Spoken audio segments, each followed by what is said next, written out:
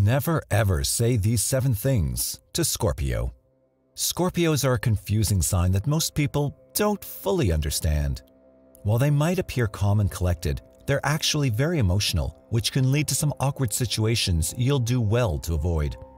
To bypass said situations, avoid saying these seven things to a Scorpio. Number 1.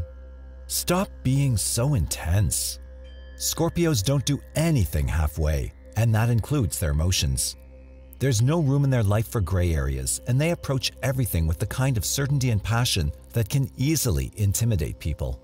Scorpios can't stop being intense, so being told to cut it out can seriously upset them.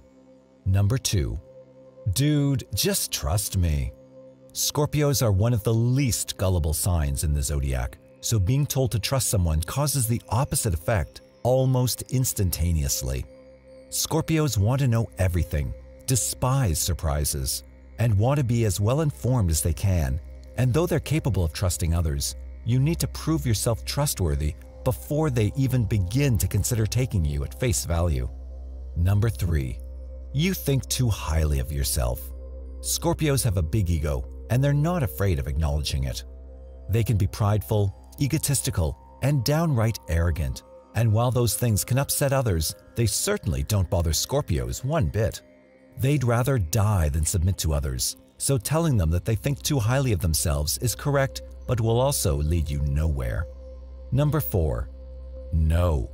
Let's be clear, you're 100% allowed to say no to a Scorpio. If you're not comfortable with what a Scorpio is doing, tell them to stop, and if you don't want to do whatever they want you to do, simply say no and walk away. That said, Scorpios hate being told no, so don't expect them to react favorably to your boundaries. They can be huge bullies without even realizing it, and they can be downright toxic when they want to be, so someone acting against their wishes will undoubtedly make them mad. Number 5. Don't be jealous.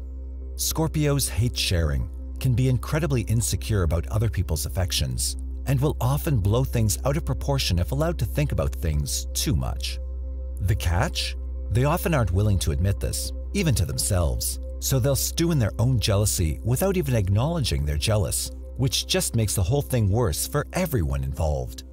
Number 6. Let it go. Asking a Scorpio to drop something is like asking them to stop breathing.